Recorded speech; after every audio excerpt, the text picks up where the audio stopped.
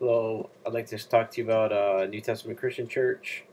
It's um, NTCC uh, for short. They're in Graham, Washington. It's their headquarters and where their Bible seminary is. Uh, Mike, tell you right in a nutshell. Uh, I'm a. I've been doing a lot of research about Freemasonry and uh, different groups uh, there's a lot of information online, very uh, much available. It takes time to research it if you want to look it up. Uh, my question is: uh, Are the uh, is the New Testament Christian Church somehow connected to the Freemasons and that whole movement to um, basically seize control of all aspects of society and uh, um, are basically are they are they connected with them? There's uh, I, I you know I've studied a lot about um, history, church history, and uh, world history, things related, and uh, there is now, I believe, a conspiracy, and it's uh, ancient. You know, it, it goes back so many eons. It goes back before the time of Christ, um, uh, and uh, but it basically one man traces it. I just watched a video. He was a man saying that he traces it from Gnosticism through different groups, various groups. Basically, the Freemasons claim to be uh, connected throughout history, all the way back to uh, Tubal Cain, the metal worker, and they say he was the first mason. And then after the flood, they say their, uh, I guess their origin is with uh, Nimrod, the one who uh, built the the, uh, the, tower and was the uh, the mighty hunter before the Lord. And uh, the Lord didn't like what they did under his rule. Um, he was ruling, looked like in the region of well it, says plainly, you know, that he uh, created Babylonia, and uh, a lot of people have done research. They've searched artifacts and all things. I guess the the, the, the religion of Baal, uh, they say, originated uh, because of him. Uh, he, he, made himself as a god, so to speak, a, a ruler to be worshipped, and um,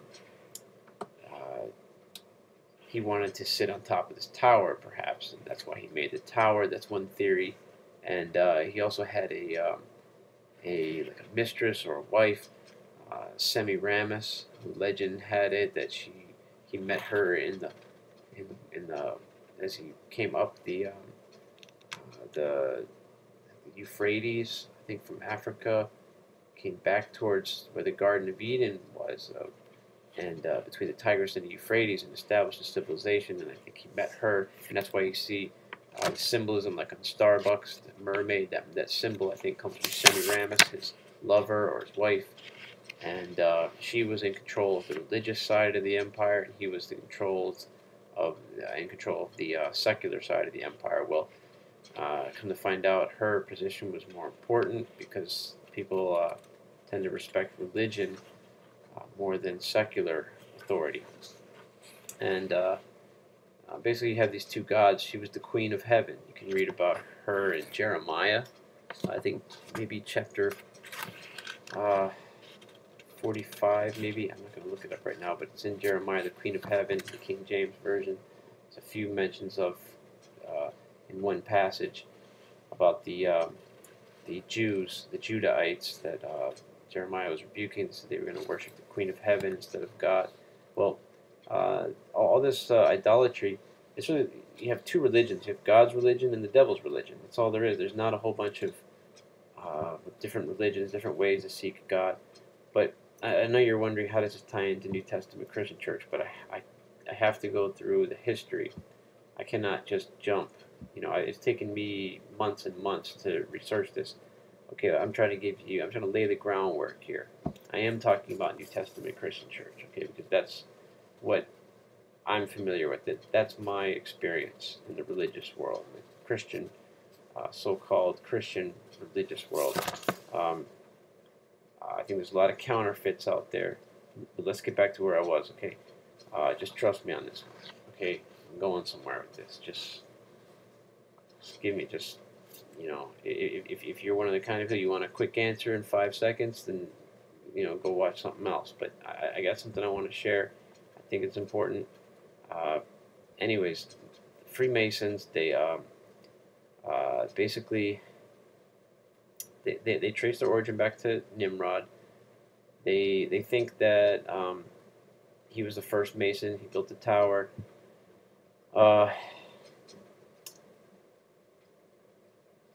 The um, I didn't have this all in my notes, so I'm, I'm kind of off uh, course here. I'm just going to go right into the, the conspiracy. See, see I think the, the, the New Testament Christian Church, what, what I think they do is they um, they they kind of give a counterfeit of what Christianity is all about. You know, it comes so close.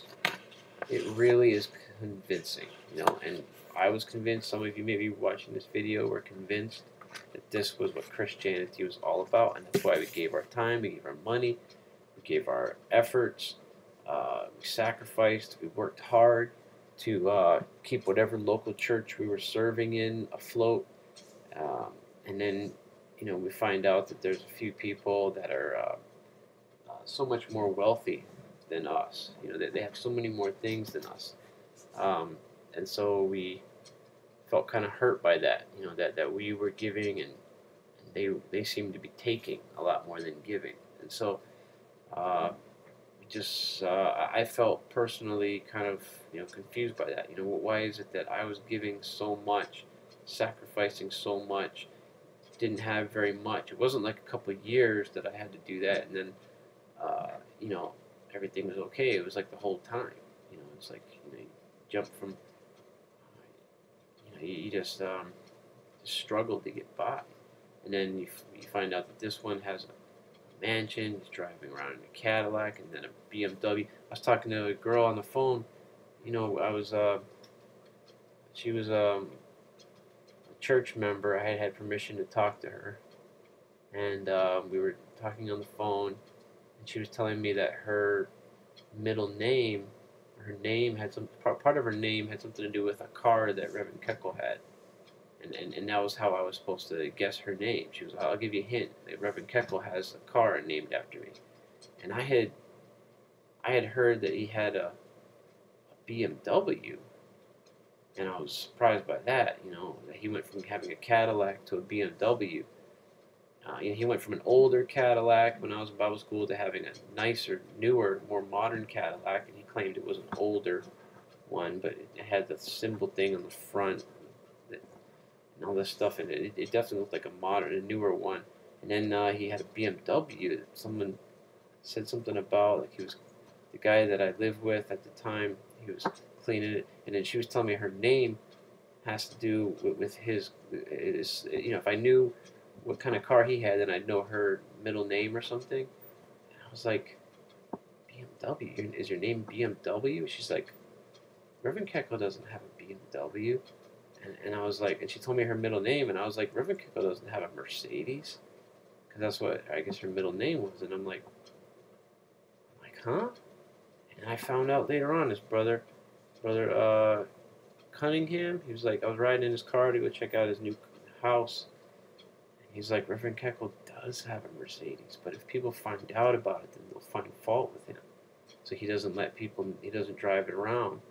I was like, wow, BMW and a Mercedes.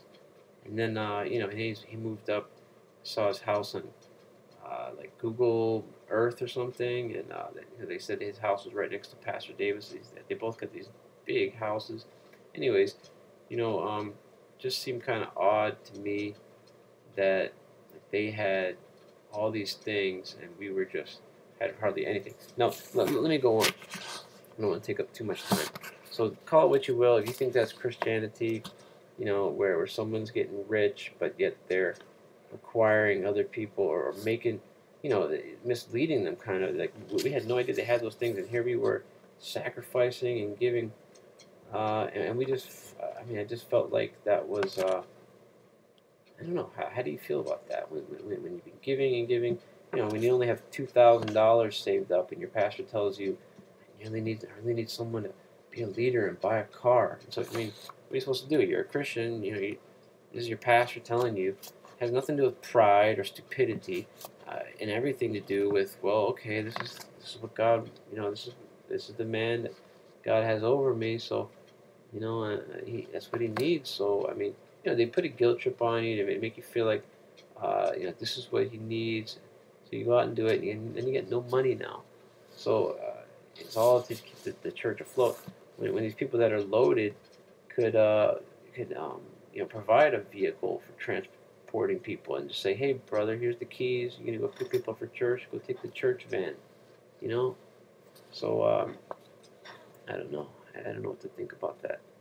And then, um, but then so, so what is it? If it's not really Christianity, then what is it? Why were they like that? Why were they, they um, that way? I mean, what's the answer? So I, I, I did a lot of research and I found out that the um, there's this secret society, these uh, um, infiltrating America. Because I used to wonder how come in uh, in our church, this organization, they're you know they're always talking about politics uh, promoting certain things. You know, I remember being in one church helping a pastor, and they're just constantly talking about politics. And you know, he he's he really loves Pastor Davis so much. You know, he really respects him. He believes in him, and uh, you know, his same with his wife.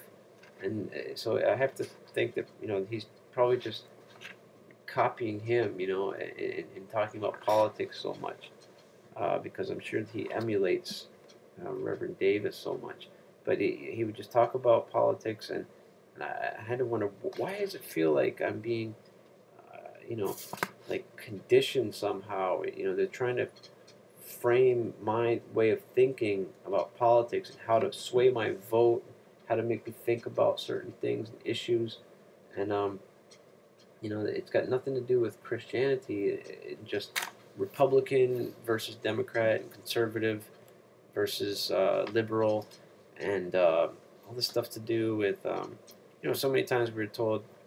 I remember Pastor Davis talking about how property tax we should we shouldn't vote for property taxes for the rich property owners to go up, um, because then it's just going to make you pay higher rent. You know, all this stuff. I mean, the Bible says to plead the cause of the poor. So uh, why are we pleading the cause of the rich? Well, it's obvious because the leaders were rich.